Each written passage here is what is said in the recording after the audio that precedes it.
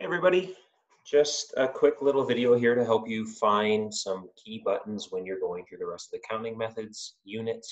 There was another video for Casio that Mr. Hill shared, so if you have a Casio, make sure you're looking at that. TI, what I need you to know, I'm just gonna go back to my main screen here.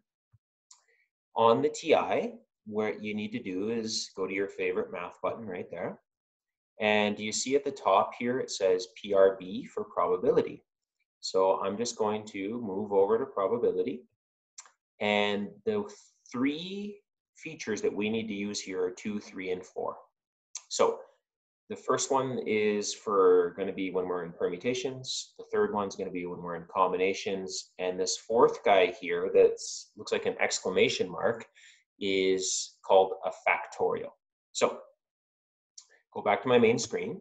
So if I wanted to put 5 factorial on my calculator, I go 5, math, go over to probability, and I hit the number 4, and then I hit enter, and it'll say 120.